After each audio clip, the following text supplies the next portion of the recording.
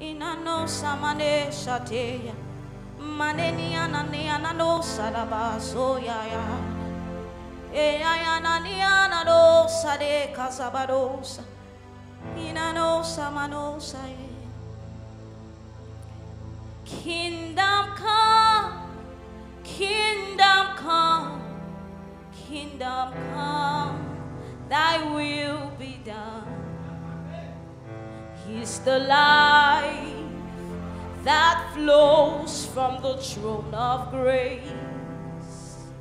True nobility in life is knowing the Lord and walking in His way. The most glorious pursuit of mankind is walking in God's image and likeness. It is our utmost desire that you'll be richly blessed as you listen to this message from Living Scroll Ministry, aka Eat the Bible Network. For more life transforming messages, please visit www.livingscrollministry.org. He's the life that flows from the throne of grace. Without wasting time, after the message, we'll be doing introduction and whatever. I want to bring forward to this exalted altar God's servant, the choicest servant of God, is my father, is my spiritual mentor, Pastor David Abubakar, is the president of the Living Scroll Ministry and also, aka Eat the Bible. Hallelujah.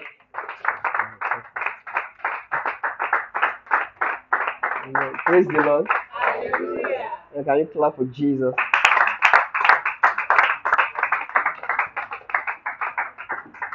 Consider. Like I always say, life is a privilege. Life is a privilege, and uh, we are we are privileged ones. I want to appreciate God for the life of uh, my brother, Boy Emmanuel, and his uh, wife and family. He's a man that have, uh, you know, I know him, and he's a man that have journeyed. He has labored in a lot of places. He has labored in a lot of places. When he told me they they will be meeting today, I actually called him to ask him to come and join us. So when I called him, he said that, ah, that they started one meeting here, and it's been the, this is the third time. I said, You shouldn't worry, I'm coming there. So I had to schedule our meeting this morning to eight o'clock so that we can come and join. I want to see what he's doing here and be part of what he's doing here. Identify, identify with him. He has worked in so many, so many big, big places, and it was there. He has been asking me that he wants to see me, want to discuss some things with me. He was with us in Abuja. The last uh, meeting we had in Abuja, he came all the way from Ibadan to Abuja. So you can see the heart. When he saw the flyer online, he said, "This meeting, he must come for this meeting." That's uh, governing thrones that we did in Abuja. So he was with us there and uh, we had a nice time in God. So, and he said, I want to discuss some things. Whether I come and see me in Akure, or okay, maybe you meet me in Lagos this uh, weekend. I will be having uh, the seven spirits of the Lord of God in uh, Lagos. So, but when I now called him, he said, Well, this is uh, it that they've started meeting here, and that's what he wanted to tell me that this is the third Sunday. So I said, Don't worry, we're here, and uh, we are here to to bring uh, more blessings to the work that he has started and also he's a man that is going somewhere. We are here to consecrate his journey. His journey, you know, we are all we are all journeying in God and journeying in the Spirit. So we are here to consecrate his journey. We are here after this uh, meeting is uh, your your sight. You know, your sight will become clearer. You see, your understanding will deepen. Things will become visible to you in the spirit realm part of the blessings I've enjoyed in God is that the spirit realm is visible for me. I can I can see things and understand things, even when I may not say it or speak it. I I come into an environment and understand things that is going on. The spirit realm, you walk with God, your your visibility becomes clearer. You know, your eyes start turning to His eyes. You know, you start seeing the way He sees and understanding in increase in greater measure, understanding the way He understands things. And that's why so many times when we speak, we speak from his bowels, we speak from his heart. Praise the Lord. So I want us to be conscious of what we're doing here is spiritual. Yes, what we're doing here is spiritual, what we're doing here is deep. We are laying a foundation here and uh, that will continue to flow and be and bless this neighborhood, bless this city, and bless the entire world in the name of Jesus. You see, anything we do for God, there are no small things in God. Anything we do for God is big and is significant. So there are no big things and small things in God. Everything carries his gene. Praise the Lord. Everything, everything in God carries his, his nature. Everything in him represents him. So everything in him is equal to him. Amen. So if God asks you to sit down, and you sit down, and you sit down there, and then God asks you to move, the man sitting down and the man moving, they are on the same platform in the spirit realm. It's obedience of his word. You know, all of them are in his word. Praise the Lord. And that's the best and most significant place to be in life in Jesus' name. So I, I bless you in the name of the Father. Can you begin to release uh, the blessing on them? Can you activate the blessing? The blessing rests on the man and the woman. Oh, Jesus, they will not labor in their strength and in their energy, but you will labor in the strength and in the energy of the Lord. Lord Himself will become your strength. Can you pray things concerning them? They will begin to hear Him. You say, ministry is following the Lord, hearing Him. There is no ministry outside of hearing Him. Ministry is not knowledge, it's obedience. Obedience to what? Obedience to Him and His speakings. God Himself is word, God Himself is speakings. So He's following speakings. That's the ministry. Jesus said, This is the work of God that you believe on the one whom He has sent.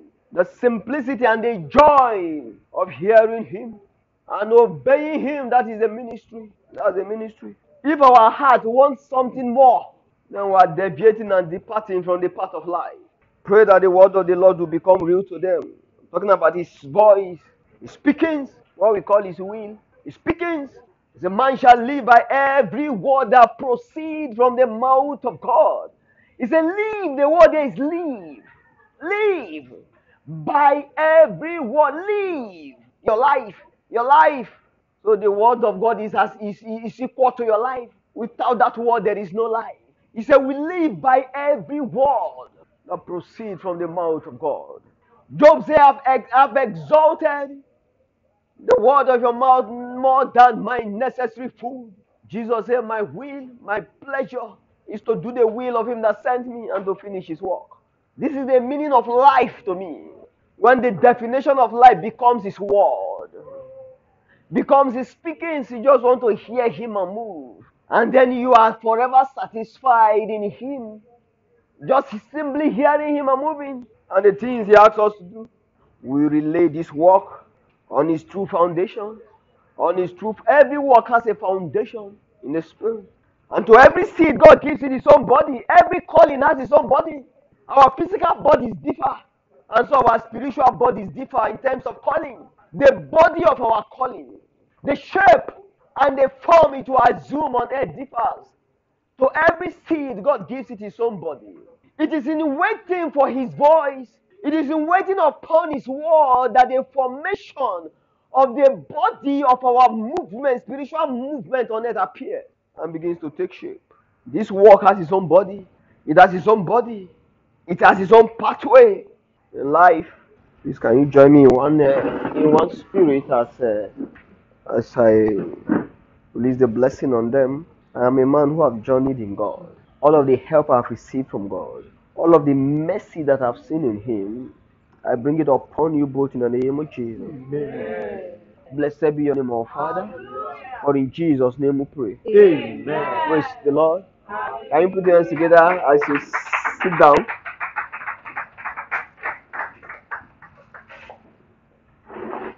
I came with uh, some people here.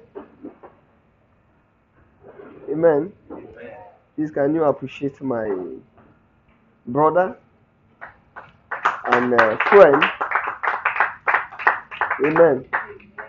There are people that they are, you know, anyways, I don't know, it's our carnal definition of uh, brotherhood. If you came from the same mother and stuff like that. But there are people that you have known. The relationship between you both is as thick as blood. Praise the Lord.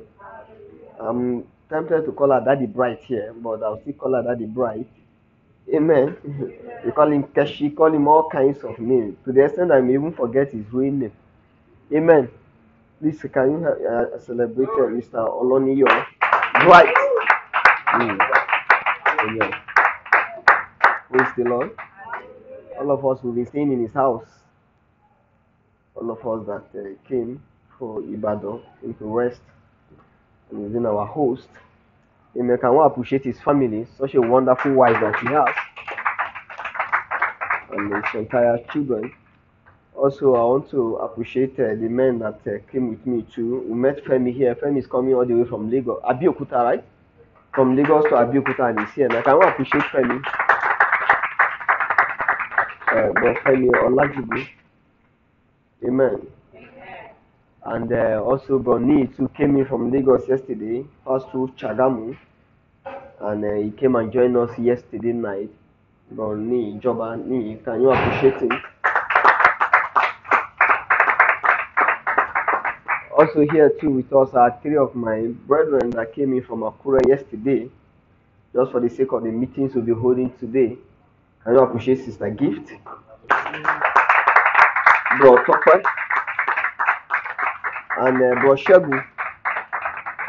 You see, the beauty of this thing that we are doing is uh, they had a meeting yesterday, and it was in the course of that meeting that I was using the stirring that we're going to be having meetings in Ibadan. And I sent a message to them that uh, can they come and they came. I even after I even sent the message, I said, "What's even wrong, Seth? Uh, this I started saying, please. I didn't know how to tell not to even come again. I tried to use language to persuade them. If it's not convenient, if it's not this, just as a deterrent. Amen. Praise the Lord.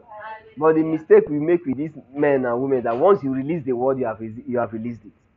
They will take it to the latter. Amen. So I'll be very, very conscious in releasing the word next time. Amen. So they had a meeting, Femi to have meetings in Abiyokuta. All they came. In fact, uh, Ni had to cancel a meeting in uh, in uh, Lekki, a business meeting in Lekki that he does every Saturday to be here. Also with us here is Sister Joy. You can join me to appreciate her.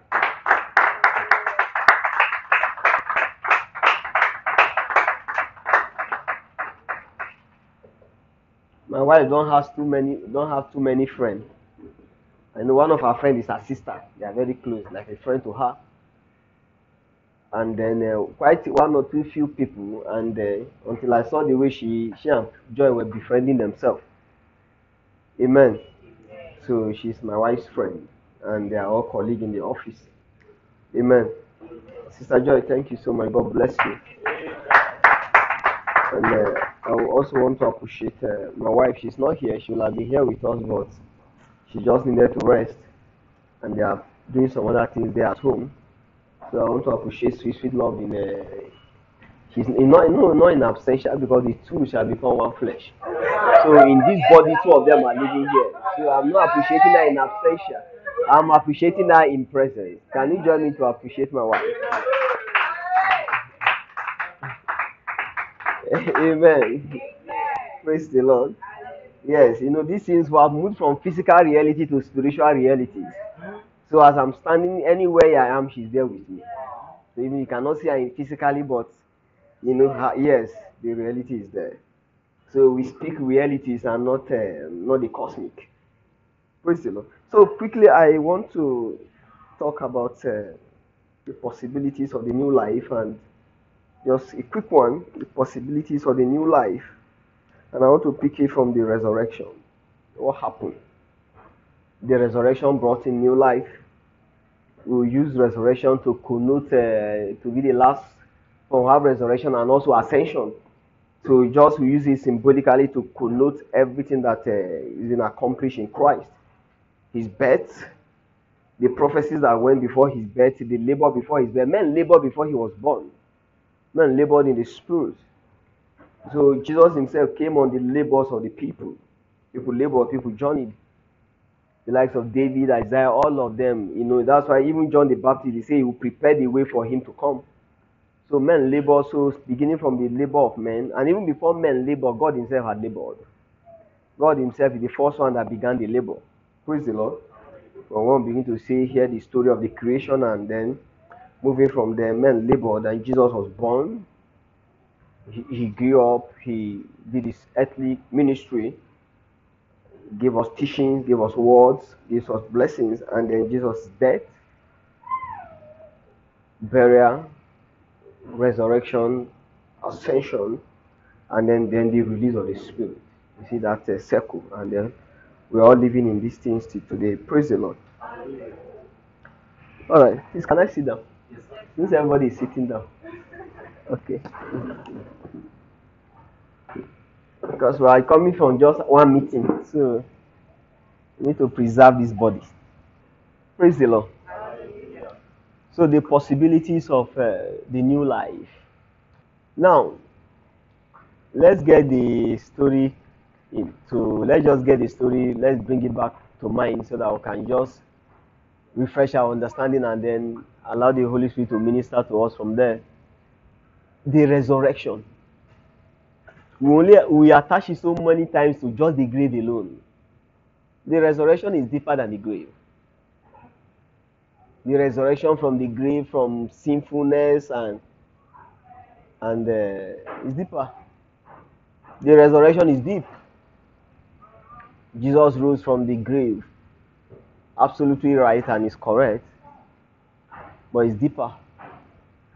That's why the, the life we now have is so deep and is so eternal. We must treasure it forever. So the resur- I would like to look at the resurrection on two fronts. Praise the Lord. I want to put it in a way that uh, you will get a good understanding from the start. Are you aware from biblical accounts that when God made the first creation, that was not where God was going? Praise the Lord. You see, there is the work, the, the, the work, the work of God. God can do a work, does not necessarily equate to His will. You can see the work of God and the will of God. There are things that should be properly understood.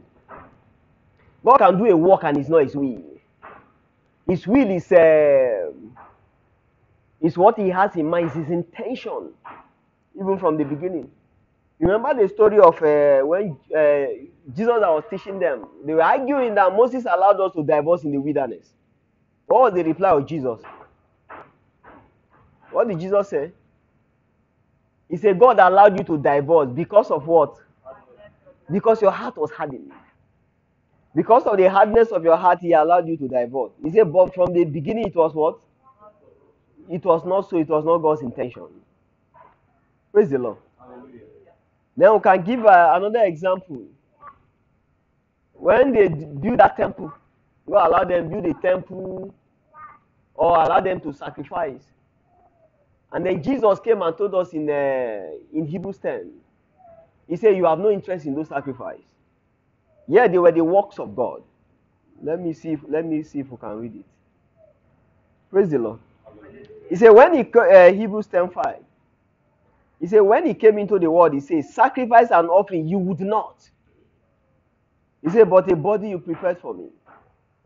Do you know, another translation said that you had no desire for this offering, and yet God ordained it. So the works of God, not necessarily His will. Because God adapts what He does, because God is working with men, weak men. Human beings are so weak. So sometimes He does certain things, you know. Even the law, He ordained and instituted the law. They say the law was only a schoolmaster to bring us to His eternal will, the Christ. So the law was not His will. What I mean by His will was not His divine was not his eternal intention. It tells us that God was on a journey, God was going somewhere. So when he ordained the law, it was not a, they was not stopping there. He said that which is not eternal. Praise the Lord. That which is he said God Himself is eternal. Everything He does is after the order of eternity. So sometimes when God ordains certain things that are not eternal in nature, it is not Him. God He Himself is eternal. His nature is everything about him is everlasting. So that which is everlasting is him. So certain times he just come up with certain things that are not him. You know, just to contain and accommodate what is the strange thing that he's saying. Just to just to wait through them. Like Bro was ministering yesterday, such a blessed meeting in Akure, the resurrection. He said when he mentioned something that the sin was alien to the Godhead. When sin just appeared, it was strange. They had not seen it before. Rebellion. It was alien, it was strange to the Godhead. But they had to walk through it.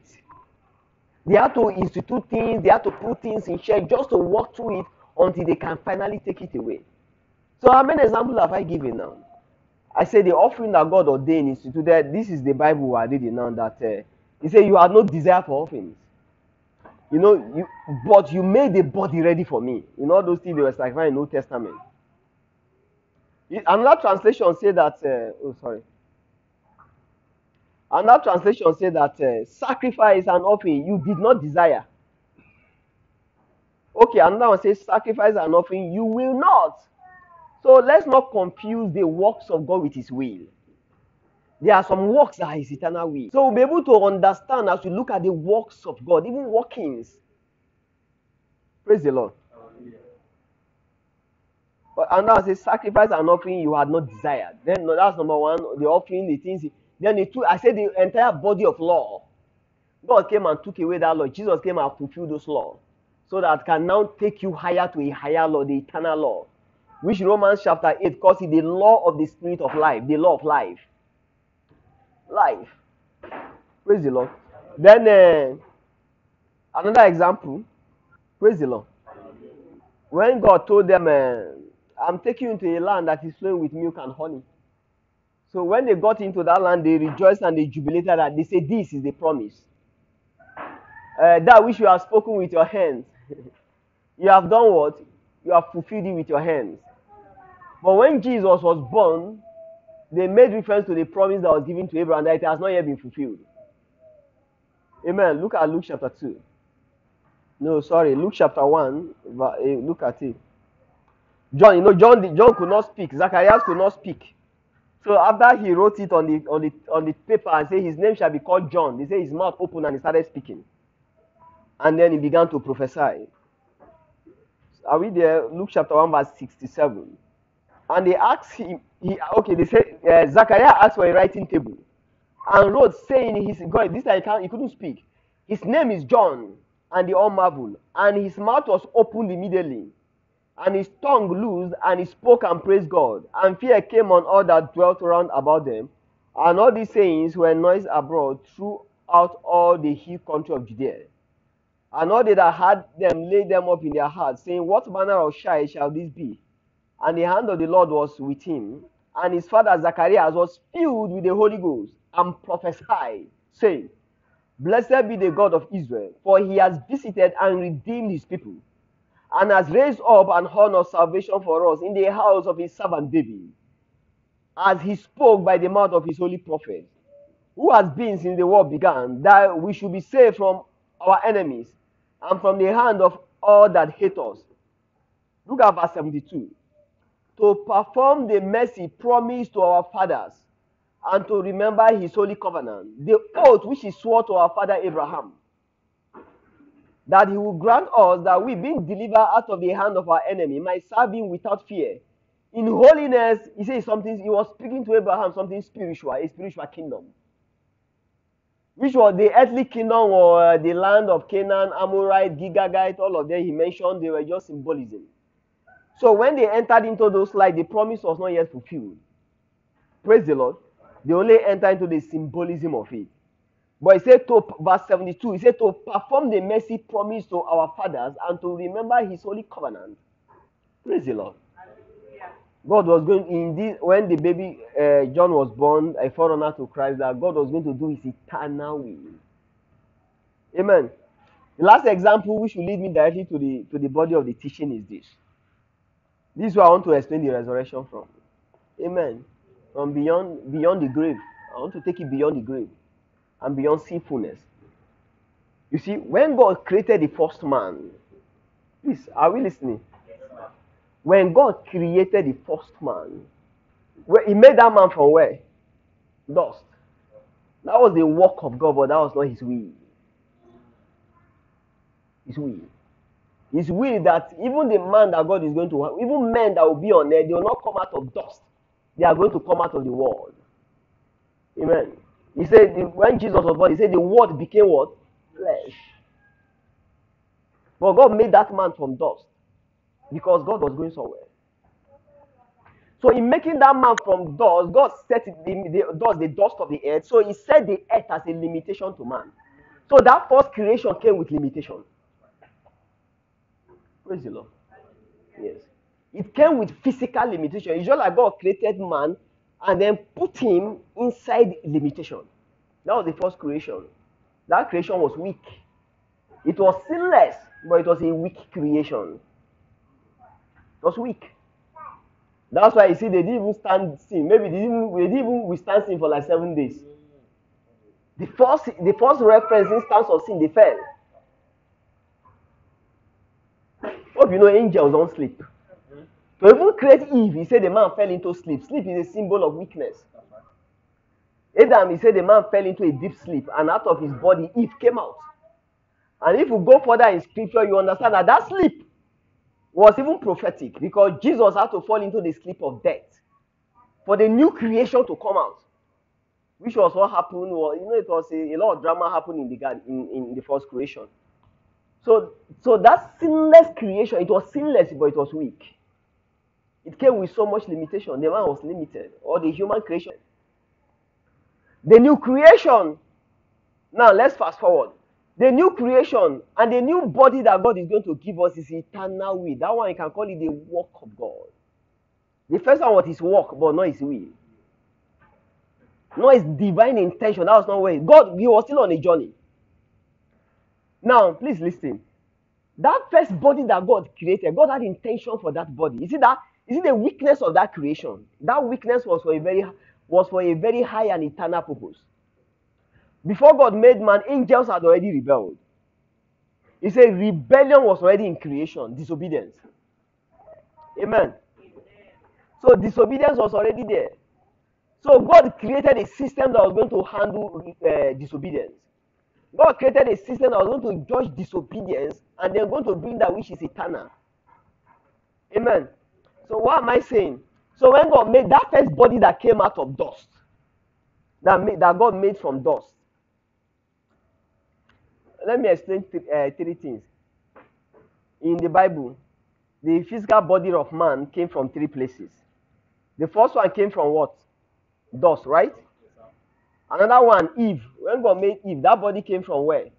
Not from dust. It came from the body of Adam, right? So this physical body, God made the first Adam's body from dust. But when God was making the body of the woman, He didn't make it from dust. He made it from the body of Adam, right? And when the third body was the body of Jesus, when God was making the body of Jesus, where did He make it from? He didn't make it from the body of uh, Mary.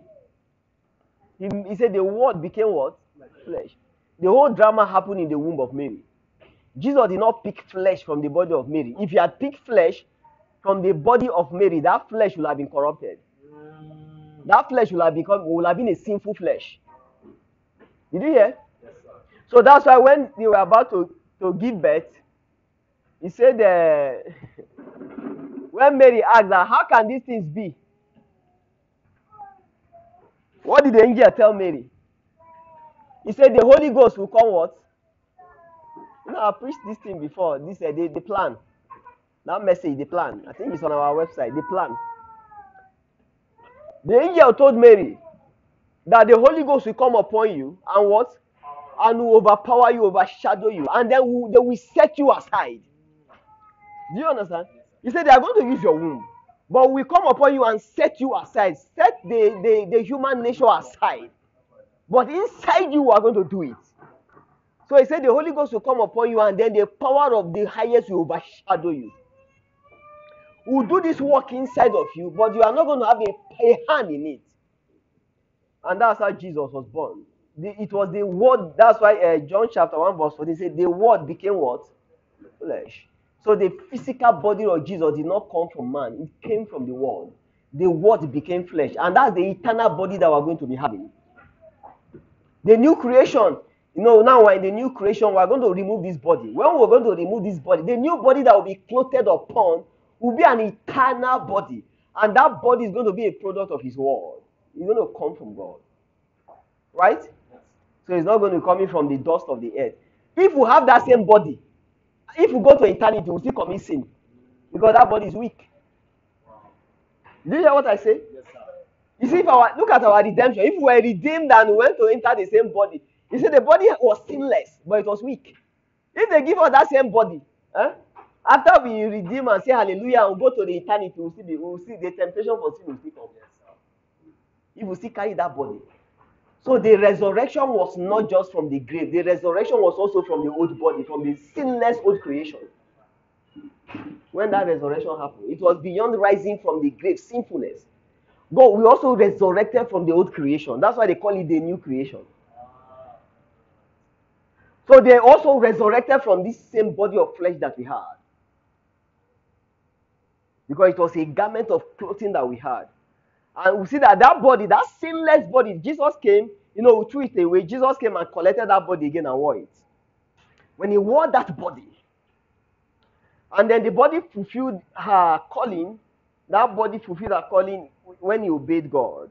You know, it was sinless. He obeyed God on the cross. That body was used as an offering for sacrifice, both for us and that, that same body, that offering that Jesus, the obedience of Jesus judged angels. You know, angels rebelled before we were born. You see, through the body, he said, Jesus said, a body you have prepared for me. In that body, God redeemed mankind. In that same body, God judged the rebellion of angels. Because angels must be judged. Jesus carried. And in that same body was the blood, was the he said the new covenant is in my blood. The blood was in that body. So the new covenant was in that body. Praise the Lord. And was in the blood that was flowing in that body. So you see all of the mysteries that were happening in Genesis. What did I say? I said God created that uh, old body, right? Created that old creation, but He created it with limitation, right? Yes, there was a lot of limitation in that creation. It was sinless, but it was limited. Now, the resurrected body that we're going to have is going to be equal to our spirit. That body that even Adam had was not equal to his spirit. It was not equal to the capacity of his spirit. So our body and our spirit will become one indeed. Not that our body will be somewhere now. You know, like now, your spirit can be journeying somewhere, your body is lagging behind. He said, "This flesh, this uh, spirit is willing, but the flesh is the flesh is weak." Praise the Lord. Uh, so, so the new body we are going to have is going to be a product of the world. Just like our spirit is also a product of God's word or God's spirit, whichever way you can put it. Put it. So I say the resurrection happened from two fronts. Where are the fronts? The resurrection is a resurrection from two fronts. Number one, what is number one? Ah, are we following? I said the resurrection happened on two fronts. You know, I say from the, the sin came, we all became sinners, falling short of the glory of God, and uh, all of those uh, narration which are accurate. So the, the resurrection, the resurrection from the grave, the grave is symbolic of what? Sin, death, and darkness, right? That's the that's the grave. And I said there was also a resurrection from another front, which is a resurrection from the old world, Old sinless creation that was created full of weakness and limitation, right? So what rose from that creation? And that's why it was a resurrection to a new world, A new creation. We did not go back to the old creation before the sin, right? That's what maybe redemption now. If you want to redeem a property, they give you the same land. After everything, maybe they stole it. They, just like police say they have recovered your car. I think they give you the same car. But when our our our vehicle in that was lost, when it was recovered, it was not the same car that was given to us. So we're not giving the old life that we had in Eden's garden. We're giving a new life, something higher, and something that is equal to what? To God. So the new body we are going to be possessing is not that same old body. As if we had that same body, we'll still fall into what? Sins. Let me give you an analogy. When you know this, Jesus is coming to reign for a thousand years, right? Yes, sir. Can you imagine? Look at the battle of Armageddon. Jesus, reigned- they say they bound Satan for a thousand years, and Jesus reigned on earth for one thousand years, and they just released Satan. When they released Satan, look at the multitude that followed him. Does it not amaze you? People that have enjoyed the reign of Jesus for one thousand years, they just released Satan, they started following Satan. You see that that dangerous body we um, no God God gave us that body. Praise the Lord. You know, God gave us that body intentionally in Eden's garden. He gave us that. Satan was coming to tempt us, not knowing that that body we were carrying was to judge him. Because in that same body, Jesus judged him and judged angels. He didn't know we were carrying his judgment in that mortal flesh. No, the word flesh was not even mortal yet. It was not mortal, it was not immortal, it was in between. It was it was not corruptible, it was corruptible. You understand? That which is God cannot be corruptible. is not subject to corruption. But that body was conditional body. It could be corrupted. Amen. And then Satan came and then corrupted that body, not knowing that that body was his judgment. Because in that body, Jesus, by obedience, judged the rebellion of angels. That's why he said, No, you know that we shall all judge what? Angels. How do we judge angels? We judge angels by our obedience. Where they stood and they disobeyed, we will stand at the same point and obey God. So, are we getting the concept of the resurrection? It brought new possibilities to life. So, we can serve God beyond this body. Not just redeeming us from sin after, so what about the body that we carry? That body had not from from the you know from what we call the the is it the, the law of first principle now. The body that we were created with could not withstand the lure of temptation.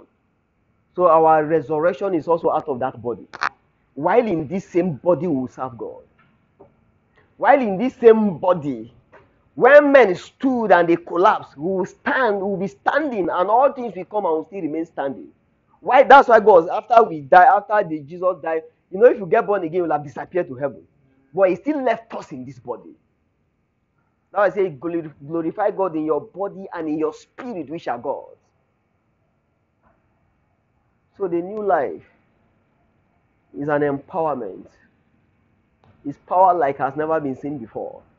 It's a new, it's a new unveiling of power. Where you can just serve God beyond sin, beyond Satan, and then beyond the human flesh. That's the concept of the resurrection. It's not only the grave, the grave is sinfulness. But before we fell into sin, we were in a nature, amen. We were in a nature too that we needed to be elevated higher from that nature. So you can see how powerful the resurrection is. It's our direct empowerment to the new life. Well, we can, can you see that uh, the way God started addressing men and women after resurrection? You see the kind of nobility, not the way they address them in Old Testament. Sometimes they say you are a stiff neck. You are, have you seen that kind of thing in the New Testament? Even the way they talk. You know why? Because a new nobility has come. The human life is not the same thing. It's not the life we possessed before. Possessed after the fall. Possessed before the fall. It's not the life that was in Adam before he sinned. And it's not the life that is in the generation of Adam after sin. It's a total new life that came from God. It was new. And that's anytime they address us, they address us with so much nobility and power. Praise the Lord. You see that even the spirit, when they come to, you see the way they talk to, you see the way the church was addressed in the New Testament. So the resurrection is powerful. May God grant us the wisdom and the strength to know what we have when Jesus, when Jesus came out of the grave and then ascended to the Father. Amen. Look at it now. See, you know, when we started to talk about physical realities are different from spiritual reality. You know, that, uh, look at it after Jesus' ascension, and then in, then he said that is in Christ is a new creation. That new creation now, when Jesus ascended and went to the Father, what was given to that new creation? They gave the Holy Ghost to come and tabernacle in that new creation. It, did, it was not possible before man sinned. Now let me tidy it here and round, and round off here so that uh, you can get it clear. You know, I say something from the beginning. This, this whole thing is a drama. You don't just uh, accept things and just be moving, moving like that. You see, God is the intentional God. He does things with intention. Praise the Lord. When you see God do certain things, there are intentions, you know, in those things. Now look at it. Praise the Lord. When that uh, when God did that, He just put that first creation. I said disobedience was already existing. Why do you think, you know, I kept asking this question for a long time. Why didn't they go and just eat the tree of life? You know why? Huh? They couldn't have just gone and eat the tree of life. Amen. You must over you must you must conquer that evil tree before you proceed to the tree of life. Even angels, eh, all of them were presented with you know, this is what we call free will. God gave you choice. You can choose to serve him. And as at the time God gave us free will, there were two opposites that were existing. There was light and there was darkness. So you must have the choice to choose either light or darkness. That choice must be presented to all men. So even angels, they had that choice. They were angels that disobeyed. They were angels that obeyed, right?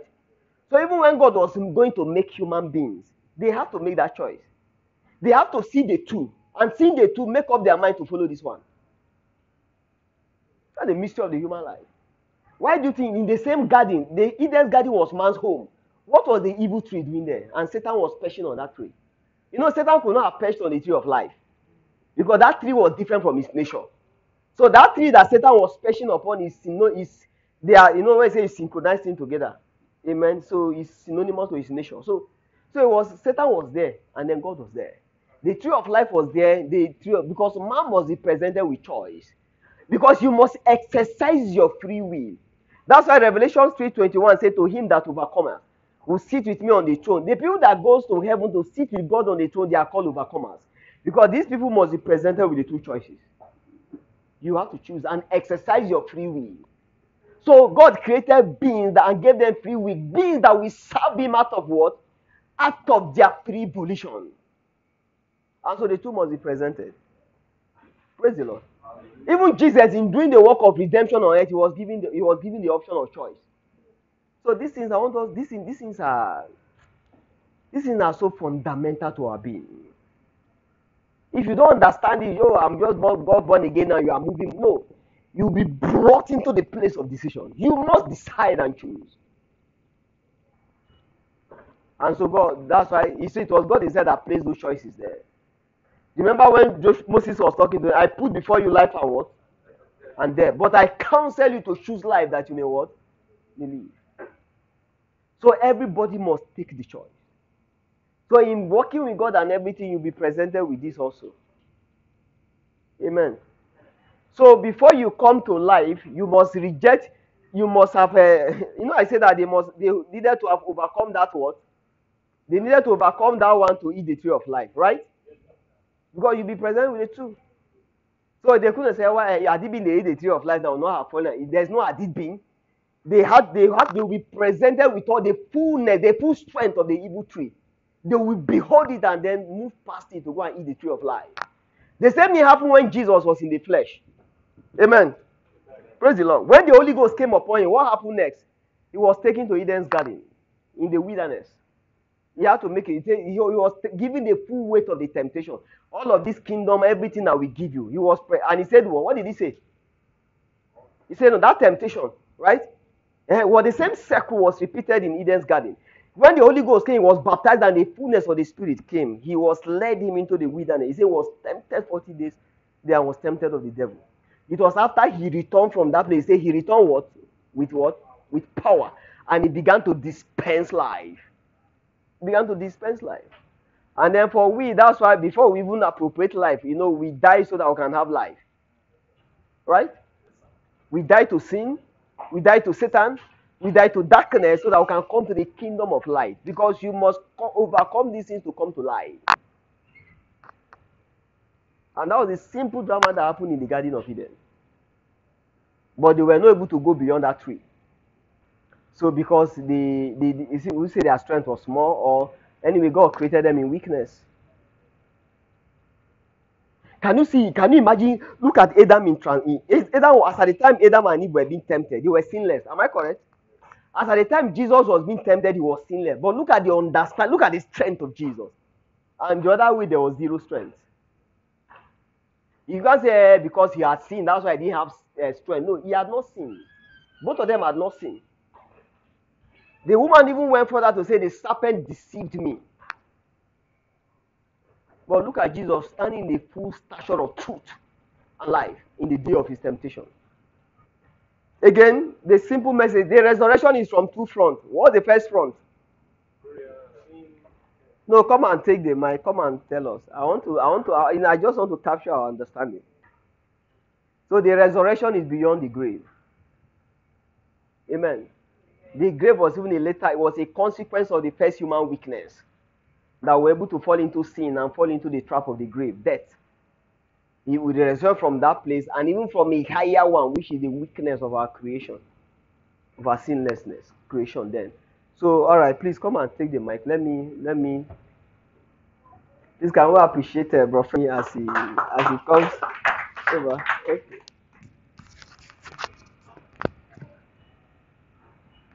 Okay, um, resurrection on two fronts. The first is um, resurrection, which we all know from um, death, the grave, sin, death, grave, sickness, and all of those things.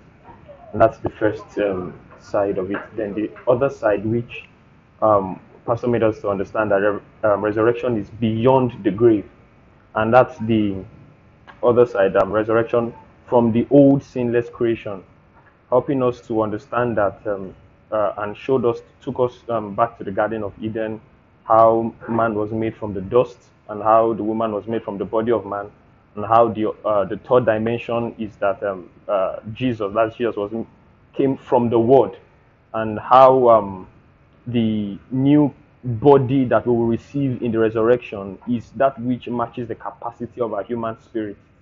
So uh, and such that the the spirit and the body you know are synchronized and then we can effectively carry out the will of god. And then one other thing that pastor said is that um, the works of god might not always be the will and intention of god. So we must be able to discern and see god's hand in what he's doing so that we can always follow him and not be stuck. So um so yes so that's just like the summary. And uh, also want to add uh, that um, the the the choice that um, uh, that that is presented to us on a daily basis that's the choice to serve god to do the will of god or not um, can only be made in the strength or that we have received from the lord and this is what i mean by that how are angels able to do the will of God. Psalms 103 says, Bless the Lord, you his angels, you servants of his, that do his pleasure, hearkening to the voice of his word. They can do those things because of the capacity of the strength that they possess. And um, uh, uh, Pastor David told us that spirit beings carry their inheritance on the inside. And that inheritance is strength. And that's why Apostle Paul was teaching us praying that um, you'll be strengthened with might by the Spirit of God in your inner man. So that strength within you know, is what helps us to choose the will of God again and again, regardless of all of the obstacles and all of the deceptions that the enemy throws at us. So, um, spirit beings carry their inheritance on the inside, and that is what we are carrying currently. And um, there is also going to come a body that um, uh, uh, uh, not made with hands. Okay, in this current body, we are groaning. There is um, effort, there is labor, there is struggle. But when we enter into that economy and God oftentimes grants us ability to walk in that economy again and again, but there is going to come a time when it is go- that is going to be the norm when our spirit and our, our body are working, you know, uh, like call it in, in sync together in perfect harmony to do the will of God, and that is the kind of resurrection we are looking forward to. Amen. So that's the resurrection on two fronts. Thank you, sir. Can we appreciate uh, Bro Femi? All right, who else again? Okay, uh, Bro Tokwe. Praise God. Um, Pastor was explaining the the okay. I want Pastor to explain that if uh, every works of God does not reflect His intention, or does does not reflect His intention, uh, why did God move in the first place? Like to take for instance in uh, creating man with dust.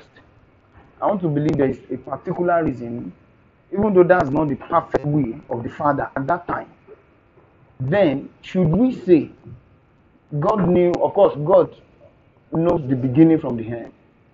And then, is it part of the, can we say that move was a part of uh, preparing or making man to test our will in order to choose right? Because I I actually want to understand why did God, because I know, of course, maybe there are some works of God that maybe by men uh, enforcing God to do some things and then you see maybe God doing things that's not in, in his perfect will. And then, but concerning that particular aspect of God making uh, man out of dust, when man could actually be made by just pronunciation.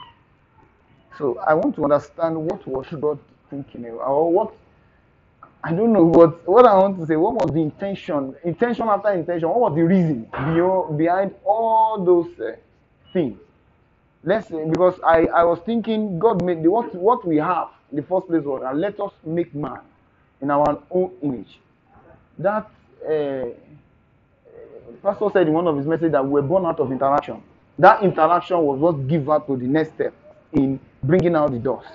So if that is not his perfect will at that time, then why did we have that face? Can't we just remove that face and I'm just trying to bring up some Can any anybody want to try? Okay, Femi, come on, come on. All right, let's hear from Femi. This is an uh, interactive uh, uh, forum. Eh? I just want to just um, color it so that you can. so um, I, I think um, from uh, my interactions with Pastor Dave in some of, some kind of questions like this, I, I hear something in, again and again, which is the fact that God um, God is um, patient, and that um, you know there are some things that God does. Not not it's not as if maybe God cannot with a snap of his finger just create that which he intends. But do we understand? Can we appreciate that thing that he has done? And so God takes us through those processes and those um, uh, phases. It's not for God; it's for us. Uh, when we look at why did God even institute the Levitical priesthood in the first place, when the Levitical priesthood was not entirely even was not even his will, when the blood of bulls and goats was not even didn't even reach him in the first place. So um, and then we, we see in Romans that those things were not will not does not even please God. Now Apostle Paul gave us a, a kind of understanding. He said that the law was a schoolmaster you know, to bring us. You know, so the Lord took us through a phase of of understanding God, of knowing God, and generation after generation. Now, when we when we look at the human race, now when God looks at the human race, He sees a people or a person. Now, but we look at ourselves in terms of dispensations and generations and the hundred and millions. But when God looks at us, He sees man as a project, the project man. But when we are looking at, at ourselves, we look at ourselves on like a horizontal level. Okay, this is me. I'm 80 years, and another person comes, another, you know, Abraham begets uh, Isaac, and Isaac begets Jacob. That's man looking at it. But when God is looking from above, He's seeing His project man. Yes, there are many people incorporated in that corporate entity man, but God looks at us as man.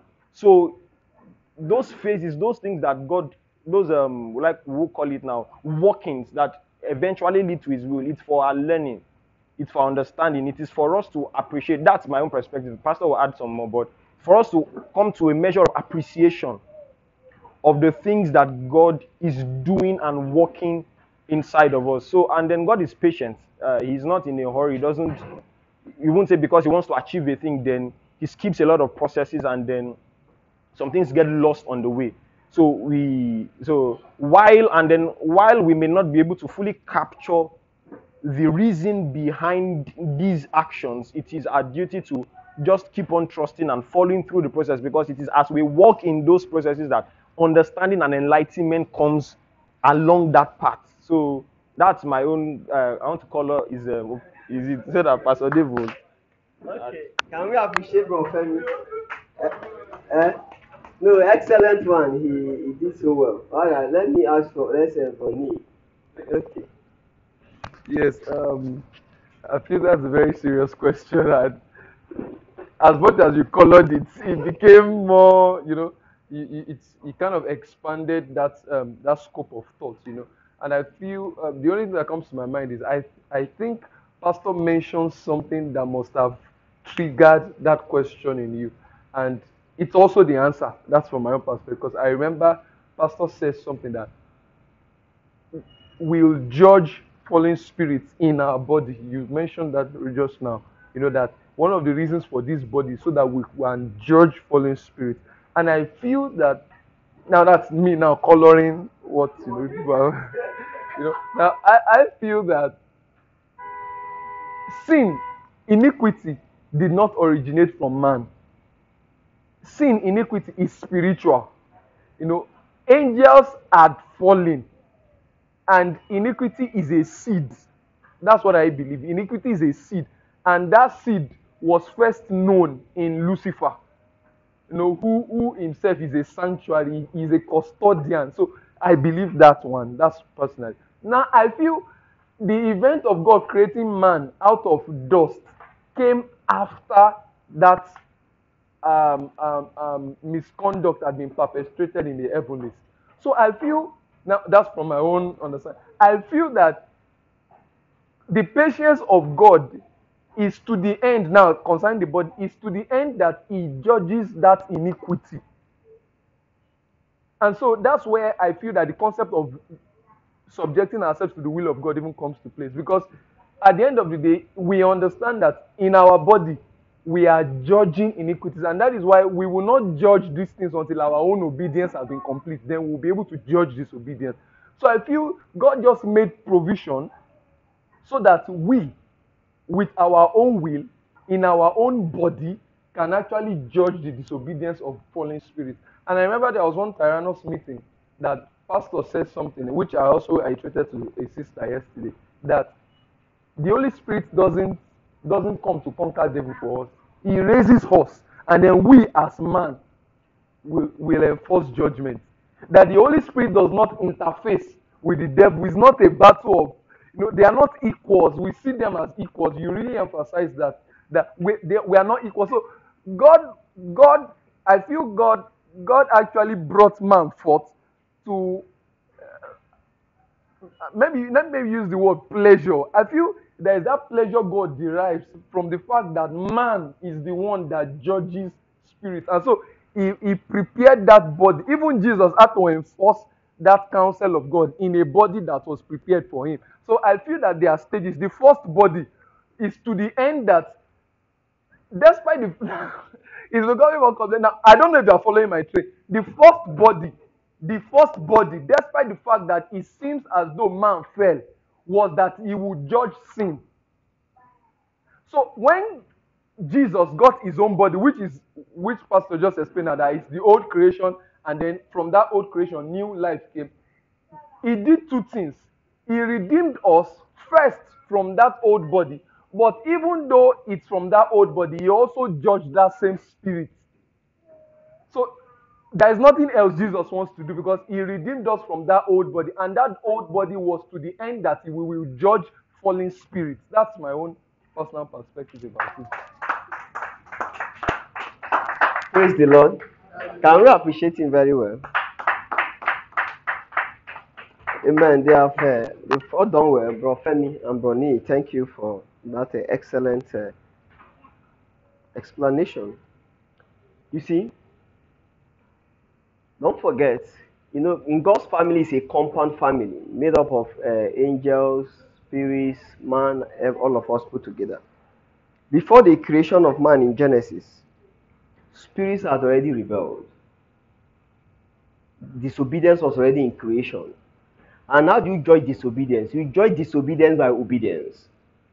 And in the intention of God, God was not even going to use angels to judge them. God was going to use very weak things. You know, He said He picks the foolish things, even amongst us. The foolish things to confound the wise. So that's why God picked dust and raised up dust in His image. And then put a demand of obedience on that dust. That by obedience, that dust will join the obedience of angels. So when we faced, when we first failed, Jesus came and redeemed us, redeemed us, and then still us. He now empowered us and then equipped us with strength. You know, Femi spoke about strength. Strength. And then still us who will still what? Who will still judge them. By what? Obedience. You see why obedience is very key. You judge disobedience by obedience. He said, Noah by his obedience judged the whole world. Because the whole world was in disobedience. How did Jesus judge them? He said, having judged principalities and power, he made an open show of them, said, triumphing them on the cross. They were the ones that killed him on the cross. But Jesus completed obedience on the cross. So as he was completing obedience, he was judging what? Disobedience. And all under disobedience, Satan, even all of them fall under disobedience. You know. So what we understand is this. That's why if you see God created man, he gave him direct instruction. He began interfering. We're not talking about obedience. You should not eat this one. It's just obey him. Not about all of those other works. So it's in that obedience that we fail. But the same spot where we fail, Jesus came and redeemed us and rose us up again, you know, in a new life. And in that new life, we are going to stand on the same spot and going to conquer Satan. Praise the Lord. That's why you see people like Paul. You see those men that God has raised. Those set of you say they're overcomers. You know, so on this, in this same, even not this is not even the body that Adam had. This is a this is a fourth. This that body Adam had was weak, but this one is further weak. In this body that is further weak, Jesus came and gave us His Spirit, equip us inside. In this weak body that is always running to sin, we hold it back. In this same weak body, we are going to obey God, and it's the message that God will use to judge angels. In perfect condition, the sin. The imperfect condition, the sin. But us in imperfect, more terrible ground, we are still holding forth and obeying God. That's the everlasting, that's the eternal message. Do you understand? That same, we know this was a little okay and like, like that. It's just like a man. He had 10, 10, 10 lesson teachers. 10 lesson teachers and he failed it. He, you know, he, he was going to school. 10 lesson teachers and he still failed. Then now have this other young man or young lady. He only read books. No teacher, no school, no teacher. He came out passing WAEC. Are they the same ground? So is this in this body that is further weak. Did you know what Romans say? Romans 8 he say, For what the law could not do, is that it was weak through the flesh. Can you see the flesh now? It's not Satan and equation now. Can you see the flesh? The corruption of human flesh. He said, What the law could not do, in that it was weak through the flesh. The flesh. He said, God sending his own son in the likeness of sinful what? Flesh. In that same body that Adam could not obey God, Jesus stood in that same body and gave obedience to God. And in doing that obedience, he judged angels. He didn't need to go and face angels that I want to fight you. As he was obeying God, he was judging angels. He said, by obedience too, as we are obeying God, we are judging principalities and powers. Just simple obedience. The things you hear from God. So he said, for what the law, Romans 8 3, he said, for what the law could not do, in that it was weak through the flesh. He said, God sending his own son in the image of sinful flesh. The Bible says Jesus himself was tempted at all points, but without sin. In the image of sinful flesh, but God sending his own son in the likeness of sinful flesh, and for sin, he said, condemn sin in the flesh, in the body of man. So we can have a now, if we can walk through this flesh, you know, and walk through this flesh gloriously in righteousness and in holiness. He said, God sending his own son in the likeness of sinful flesh. In that likeness, he sent him. So he didn't send him in a super God flesh. He said in the likeness of sinful flesh. And for sin, condemn sin in the flesh. Praise the Lord. And the other aspect to it is like what uh, and uh, Femi was trying to explain. He said, God is, he said, God, God, you know, okay, why didn't God create the whole world in one day? Why was he, how, how did it take six days? Was he tired when he when he said what, what did he do? He said, Let there be this. Was he tired? God introduced to us process. That the human race, the humanity, earth, everything is going to be in process. So even that what he started with the first man was still a process. If they if the spirits were wise, they would have left Adam, Adam and Eve alone. If they were wise. And if they were further wise, they would have left Jesus alone on earth. He will not die. If nobody killed him. Amen. If they were wise, you know, so so God introduced process. He said day one, even the the, the and God rested. It's no say and God say and the evening was the four days. Second day. Why four days? When one in one single word, everything can come up. Abi? Just one sentence. God will just make one sentence. And everything. But God did it stages by stages and he introduced something that we must pay attention to. You see what? Process. That's why a human being is born. You are born very small. You grow, grow, grow, grow until you become an adult. You know, even a uh, tree. That's why God created the mature. The He started from the top. He created the, the chicken, right? Out of the chicken will come the egg. From that egg, a new one will born. He didn't start from the sky. He started from the adult. But from the adult, they what? The young one will what? Will come on. He didn't start from it. God created Adam, and Adam was crawling on the ground, crawling. No, He created a full man, and from that full man was going to give birth to Cain and Seth. You're going to call, you know, from the adult, he was going to call the young. So that is to tell you about God was introducing another dimension of life to eternity, which is what? Growth. Which is what process people were going to be measures. And that's why even we, so that's our order. We grow. Even after this life is over and everything, when we step into eternity, we'll still be learning God. We'll still be growing in knowledge. We'll still be growing in wisdom. Because we'll be seeing God, you know, in a new way. You will will spend eternity. I will not exhaust eternity knowing and learning God.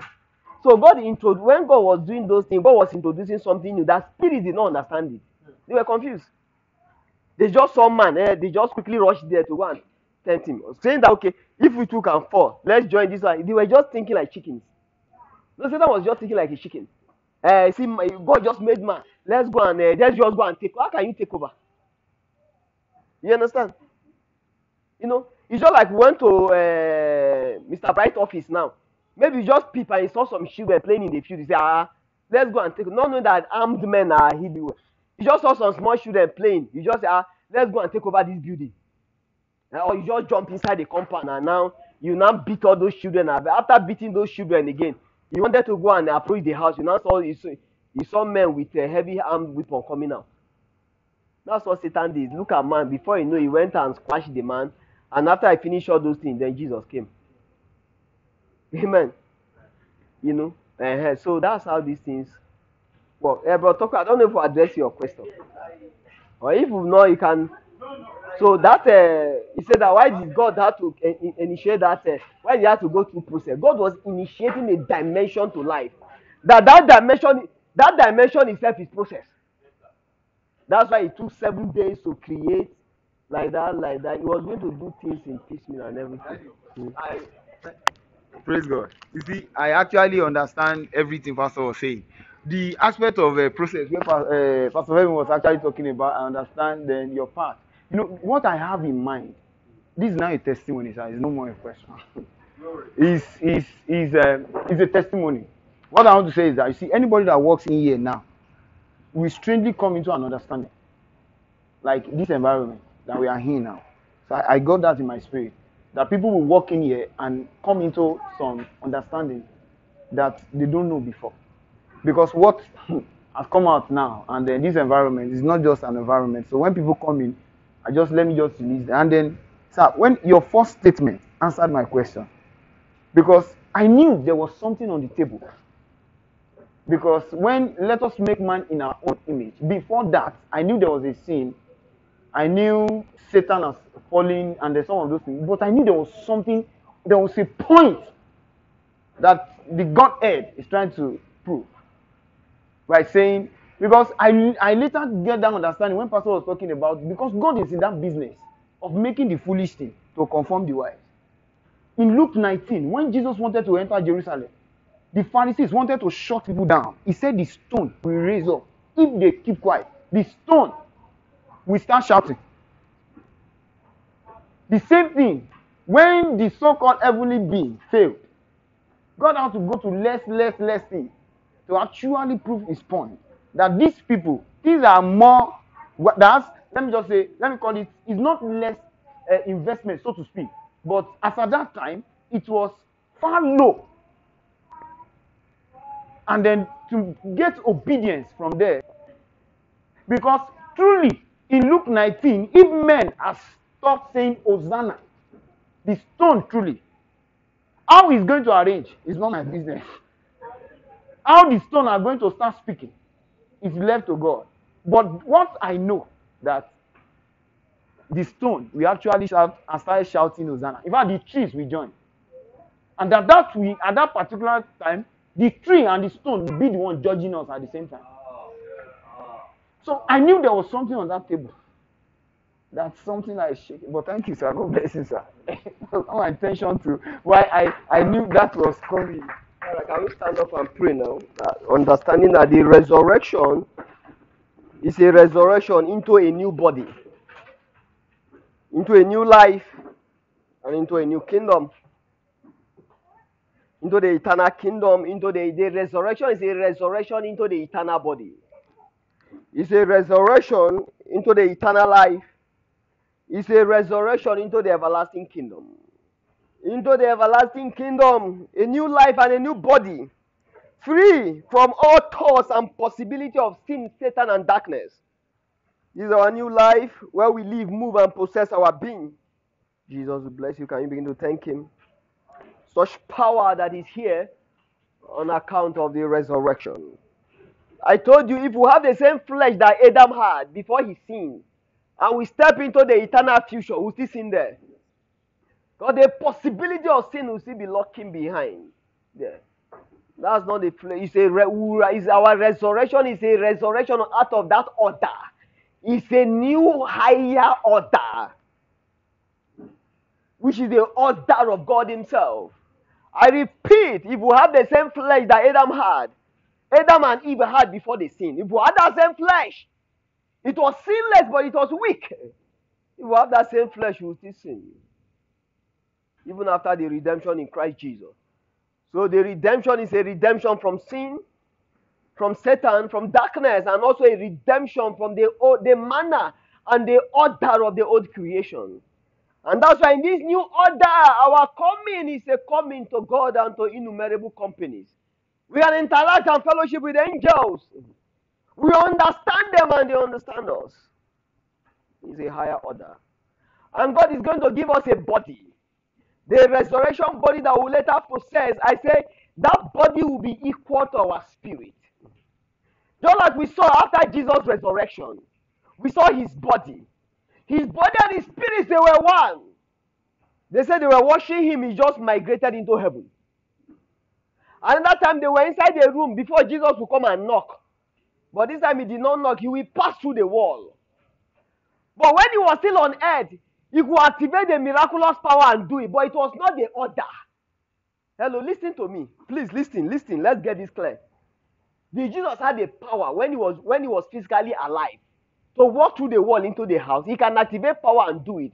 But Jesus will be walking out of order because it was not the order yet. Because the Bible says he came in the order of sinful human flesh. That's why Jesus will be hungry. He can activate a dimension that will not be hungry. But Jesus will be walking out of order. He says spirits don't break rank. When the Father sent him, he sent him in this old order to redeem men that were in that old order. So he came with a body that was in that old order. That same body, he will use it to sacrifice and finish it, drop it on it, pick up his own body. That's why when he was praying in John 17, he said, Give me the glory that I have with you, even before the foundation of the world. And when Jesus resurrected and he was going, the Father gave him that glory. So when Jesus came back, when they were gathered after his resurrection, he did not come back in that old body that was in the likeness of sinful flesh. Jesus came back in the full weight of the new body. That's why they will, when they were gathered in the room, he will walk through the wall. He was, he was operating the new order. But in the old order, Jesus will not walk through the wall. He will go and knock because that was the order. One time he just activated miracle in the night. When he, Peter was preaching, he said, Peter, give me, borrow me your boat, let me preach. Was it that Jesus did not have the power to, to miraculously stand on the water? Well, he only stood on the water, not before the crowd, but before his own disciple. He wanted to teach them something. But before the crowd, he was walking in the order that he came. That's why I say I was, you know, he respected his order, even in the flesh. Say I was sent to the lordship of Israel. Even though he was the creator of the whole world. But he came in an order. There is an order. He said, I was sent to the lost tribe of Israel alone. The woman started now pleading. So when Jesus wanted to preach, he pleaded with Peter. Peter now gave him a, a boat. When he entered that boat, he also he, he now pleaded with Peter the second time. Please, can you roll? Peter, help me roll a bit into this into the water. So after he sat down, he didn't supernaturally move the, the boat. Peter now rolled again. He came in an order. If you don't understand this thing called order, we'll just jam, misjam spiritual things. Do you understand? You understand? So, but you said Jesus walked on the water. Before who? Was it before the crowd?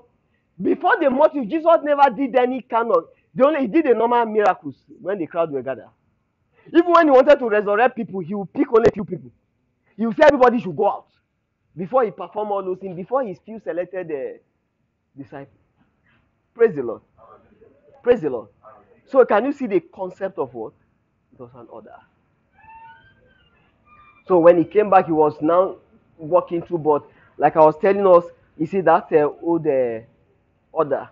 So our resurrection, we also when Jesus rose from the grave, and when Jesus ascended to the Father, he didn't stop there, and then he sent the Holy Spirit. Then the, the circle of his life was complete when the Holy Ghost came to us. That's where it has been going from beginning. That God will give His Holy Spirit to men. Man in a new body. Yes, in a new spiritual body. Later on, the, that body will appear. But now it does not yet appear, uh, it does not manifest physically, but we possess it spiritually. That's why I say I grow not to be clothed upon, not to be unclothed, but to be clothed upon with my immortal body. Second Corinthians chapter 5, when Paul was saying that we have a body from heaven, not made with hands, which is immortal in the heavens. That body, that body will soon will soon materialize. But now we can tap into the realities of that body. So when we have that body, then God now gave us His Holy Spirit. That's where Jesus, or the whole concept of Jesus was going from the beginning, until the Holy Ghost came to men, men in a new nation. Praise the Lord. You see the resurrection. It's a resurrection. It's a resurrection. One, out of the grave, out of sin, Satan, and darkness, darkness, and a resurrection from the old order. Praise the Lord. So now it now depends on you and I how, well we come into the consciousness of the new order. It is to the extent to which you come into the consciousness of the new order that these things will profit us. If you don't understand what we have in Christ, if you don't understand what the Lord has given us in Christ, think He's coming around, we just clap hands together, do all the gymnastics and go on. It's a spiritual reality that we must live in. Praise the Lord. You can obey God. Obeying God is not just a thing you will try to do, it will become a thing of pleasure to you. My food is to do the will of it. It has become food to Jesus. You know the you know the treasure, how men treasure food. How people spend all their life working because of food to put food on the table for themselves and their family. Jesus said, doing the will of the Father, obeying the Father has become like that to me. King David said, Your loving kindness is better to me than life. To love God, to obey Him is better than me than life. These things are possible. You see, men in church, they are struggling to serve God. People in the faith, they are born again, but it's all a struggle. It's all a struggle. These are we have not entered the reality of this thing. You are a new reality.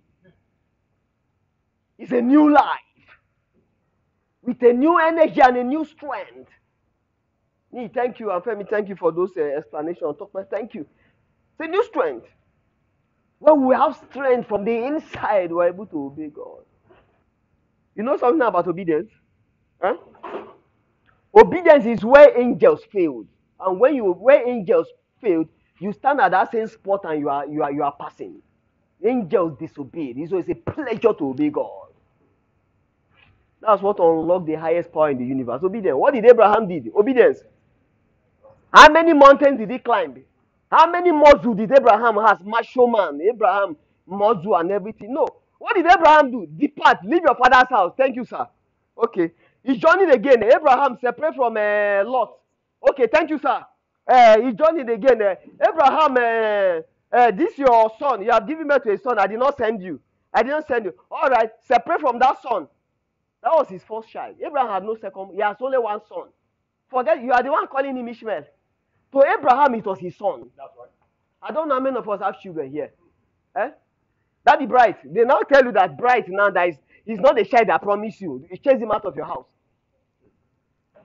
You even have, you can even say you even have uh, other children. But that was the only child. And the man was an old man. 80 something years old. No possibility yet. He said, God said, it's his child though. Just like, look at the way you love your, fa- your family. You know, say, I, I promise I'm going to give you a child, but it's not this one. Ah. Eh? And when did they tell him? Not when they gave birth to the boy. Oh. Ishmael had grown. The boy had grown. I think it was like 14 years. Eh? 17 bright is up to 14. It's not yet. Uh-huh. So maybe you, as you are going home now, you just say somebody will not come and tell that bright, to, you know, I know I knew I'm going to give you a family, but bright, you, understand? All these things, we just read Bible and read Bible. You understand? It was only one. The boy was Abraham was 99 years old. Ishmael was 14 years. He was an old man, and God now came and said, This is not the child I promised you. Ab- what did Abraham did? Abraham carried a bottle of water and carried one small bread and gave it to the. He said, Yes, sir. He gave it to the woman. You and your son. Bye bye. And Abraham drove them into the wilderness. If it is in our I- Ibadan, it would have been better. Those days there are warriors everywhere, and they see a woman, they will carry the woman and kill that baby. And see all those. That time was a barbaric era where people are fighting. So Abraham literally sent them to go and die into the wilderness. So before Abraham sacrificed Isaac, he had already sacrificed Ishmael.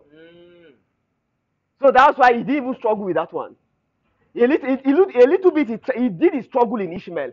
Oh, that Ishmael may live. And God said, No, Ishmael cannot live. So when it was going to, when God was going to tell him to do it for Isaac, it was a repeat class. It was a repeat class. That was not the first time he was losing his child. Do you think, did there, is there network? Did he know what has happened to them? Whether they have died or not, he doesn't know. No, no news. So he left them, he left them, they went. You see. But what did he say? Shall separate Ishmael. He said what? Yes, sir. Then he journeyed again and God said, okay, this one is now the child. The boy has grown up. If he was a baby, it would have been okay. The boy has grown up. Abraham, carry this boy again. Put him on the. Yes, sir. Before the day woke up, Abraham had gone. And then Abraham became the father of faith. He became an he now became father Abraham in the spirit realm. Even when paradise is called Abraham's bosom. What did Abraham did? Yes, sir. Yes, sir. Yes, sir. Yes, sir. You see, where angels failed, where angel failed is the calling of man. Obedience. He said he obeyed him and obeyed him to the point of death. He said obedience making Ephesians 2, Jesus. The same thing happened. He said he became a man. Even in becoming a man, he obeyed again to death. And then the death on the cross, then God exalted him because of obedience. And the calling of man. So it's a resurrection into life. We're able to obey God. And by obedience, we judge principal, we judge nations. We are going to judge this country, the, uh, the iniquities in this country by our own obedience. When God calls you and give you a small ministry, and you are using it to oppress people, and you are going to pray for Nigeria, you are just doing an exercise in futility. You have a small congregation. You are using them. And you are complaining that Nigerian leaders are using Nigerians. And you're organizing prayer is an exercise in futility. It's not a prayer, but it's your obedience. Have you obeyed the word of God? The pattern of life that God called men to live. He says that must be the greatest of all, must be the servant of all. Have you become the servant in the midst of the people that God has given you? That's your authority in the spirit realm. It's not just name, it's not anointing. Men are flocked after the anointing. And they know that it's the glory that produces results. Anybody can be anointed. A Samson can be anointed. But to bring the glory that it will take a Jesus and a Paul right. and an Abraham, can you begin to bless him? I'm going to thank our Father. We love him. Love makes obedience easy, becomes easy. Love makes obedience become easy. The resurrection is an empowerment into a new body. New body. A new living body. A new reality in our body. This will soon shut off this body of limitation. But even in our spiritual body and our immortal body, we'll start learning to live in it today on account of strength. The resurrection is a resurrection into a new life. It's into a new kingdom, a new atmosphere, a new, rela- a new relational environment. A resurrection out of the old. Thank you. Jesus will bless you. Jesus will bless you. Listen to me. Say, eh, how do we even sometimes we compare ourselves with men and women that are still in the old flesh? You know, I say it's, it's old, they are still they are there, they are still not born again. So they are still in the old order, right? So there is no basis of comparison. Say you are in this world, but you are not of this world. Your order has changed. How do we compare ourselves with them? They do Grammy award, they call you, they want to give you Grammy award as a gospel singer. Mm. When they don't know you. Right. They say, uh, how you say, what manner of Lord the Father has blessed that we should be called the sons of God. They say, therefore the world does not know us. Because it does not know him. We belong to a new order that they don't know. Mm. So how can they come and come and give you award? Say you're a Grammy award winner. In gospel, when they want to do their own, let them do their thing and stay there. The same people come and write a list of richest men, richest pastors in uh, in Ibadan, in Oyo State. Do they know what they do they know what they call wealth? Definition of wealth, is it the same thing to us and to them? If the definition of wealth is the same thing to us and to people that are still in the old order, in the old flesh, then something is wrong. Def- I mean, definition of wealth. If we define it the same way, we call wealth? Paul talk about the exceeding riches of the Christ. That's the wealth in which we are constituted. That's the wealth. The old order, men, all of us are standing in this flesh, but we are living in different order. So we don't compare. Can you bless him? Can you thank him? Father, will bless you. We have activated certain things in, in, in our spirit. And these things will continue to grow and build on it as we learn. As we learn, as we live in God and come to God day by day. We'll be growing after this order, after this light. When we say, I know who I am, indeed we will know who we are. Or say, Don't you know who you are? You don't know that you are going to be judging angels and you will be sitting down before men. Mere men, don't you know who you are? You are taking your matters to men. Don't you know who you are? That you are people that will judge angels. Or did they just to activate certain things over the spiritual atmosphere? Over our spiritual atmosphere? The spiritual atmosphere of this fellowship as it's being constituted. This is just like giving them an oversized jacket that they will, they will be growing into it. And also to promote the spiritual atmosphere of this land, this city of Ibadan, and this nation and the whole world at large. To shine the atmosphere, a spiritual atmosphere over the earth. As these truths are coming forth, impartations are going on. And these impartations will be eternal.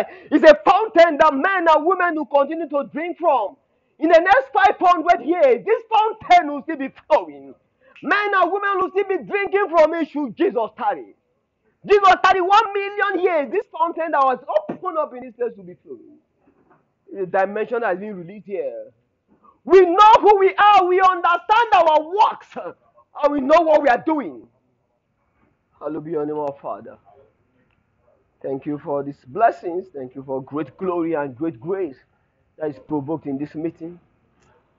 We honor you, our Father. Please let me pray for you. Have uh, something you are believing God for or something. Can you just place your hand on your chest? Let me just just pray for you. It could be anything. Maybe you are believing God for something. You're praying. You've been talking to Him about it. It could be healing. It could be health. It could be anything. Just it's, it's done under this under this extreme atmosphere of His great grace and His great glory, and the unveiling of His word, His light, and His love. Under this atmosphere of His love, it is done. In Jesus' name. Amen. Whatever your need is that you have believed the Father for, it is done in Jesus' name. Amen. Receive it in the name of Jesus. Take it in Jesus' name. Amen. Thank you, our Father. Oh, ministering spirits are activated over your lives. In the name of Jesus. They will circle the length, breadth, and the depth and height of your life and arrange things in order. All your lines will be in pleasant places in the name of Jesus. Thank you, righteous Father. Because the needs of your people are met in Jesus' name. In this age, in this time where death is flowing, you will find life. Every one of you here, and those of us listening online, and those that will yet listen, you will find life. In the name of Jesus. Life is an ordination for you. He said, With long life will I satisfy you. And I, Jehovah God, will show you my salvation. And that is your portion in the name of Jesus. I bring that word over your lives in Jesus' name, over your homes, your family, and your loved one in the name of Jesus. Peradventure, anyone is sick, both sickness that has come and those that have not even come out yet, receive healing in the name of Jesus. Thank you, Father. Thank you, Holy Spirit. And concerning this uh, meeting, this fellowship, you continue to grow. Spirit, soul, and body in Jesus' name. In strength, you will grow. Materially, you will grow. Financially, you will grow. In favor with men, women, and children, you will grow. In favor with your father, you will continue to grow. In the name of Jesus.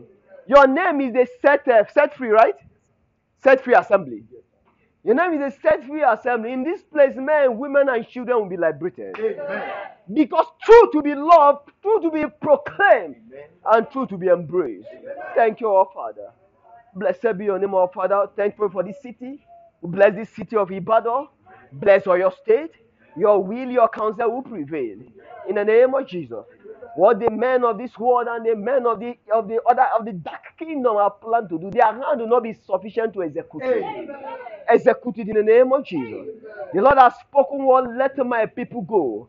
And so in this city, your people will go forth. They will go forth unto you. They will go forth unto their destiny, even as you have will and design in Jesus' name. Concerning our nation, Nigeria, we ask for the spirit of judgment and the spirit of truth. When your judgments are in the land, the inhabitants of the land will learn righteousness. Oh, pray for the spirit of judgment and the spirit of truth to cleanse this land in the name of Jesus. Thank you, our Father. Your sons will arise, your people will arise and execute your mandate, your will, and your kingdom in this land. Your kingdom will prosper. Men will flock into your kingdom because it is the everlasting kingdom and it is the only kingdom. Thank you, Father, in Jesus' name. I pray for families. Love will be re, uh, Lord will be mighty in your homes. In the name of Jesus, there an awakening of love in Jesus' name. Those of you who are not yet married, you will marry into a good home in Jesus' name. I grant speed concerning your marriage. It is done in Jesus' name. Some of you get married this year. Some are in your due time and due season in the name of Jesus. Blessed be your name, our Father. For in Jesus' name we pray. And you appreciate your Father as you sit down. Come on, can we celebrate God in the life of God's servant? Celebrate Jesus. Celebrate Jesus. Come on, celebrate Jesus. Hallelujah. Um, so I want to sincerely appreciate you because um, this is a timely message. Because the greatest tragedy in life is that when a man is ignorant, the greatest tragedy that a man can face in life, when you are fighting what you don't know, or when you don't know something. Um, and I want to bless God for your life. And my prayer for you is that your wealth of revelation will not go dry. In the name of Jesus.